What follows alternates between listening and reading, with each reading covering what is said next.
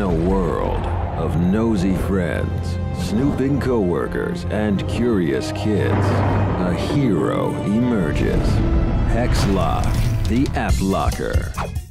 Well, let's see if this is the best app locker you can find on the Play Store.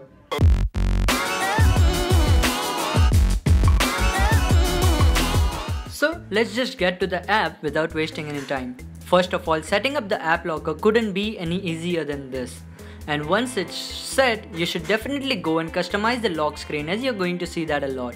You can select a picture from the gallery or a solid color. I would go for this one.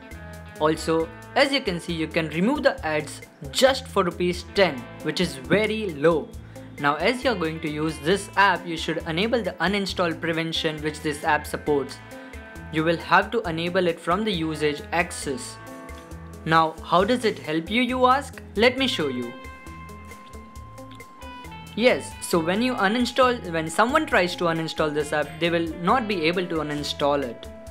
Now you can choose the home profile and lock the apps you want. One great feature of this application is that it supports categorized app menu, which definitely helps. As you can see, these apps are already categorized by popular popularity and in that they have subcategory of media, contacts, etc. Just tap it and you have enabled it. Isn't it cool? This is the simplest app locker which I have used, yet it's brilliant. Now keep the eye on the screen. Yes, did you read this? Hexlock can lock apps directly based on the Wi-Fi so for example, I work for in 5 minutes and I use this Wi-Fi over there so I can set it to automatically lock all the apps when I am in the office. Also another great feature is that you can add multiple profiles to your app locker. For example, for office, home, college, classes, school, etc. or whatever you want. You can add up to 6 profile for every situation you want. It also comes along with a vault, media vault which will help you to hide photos and videos. It's easy to add and delete the image.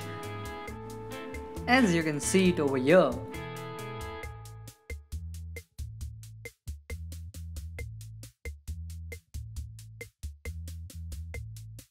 Now coming to the last point which I actually needed is that you can easily recover the password with just one click. All you need to do is forget password and enter your password to your Gmail account which is linked to it. And once you do that, it will automatically give you the reset password screen and you can enter the lock whichever you want again.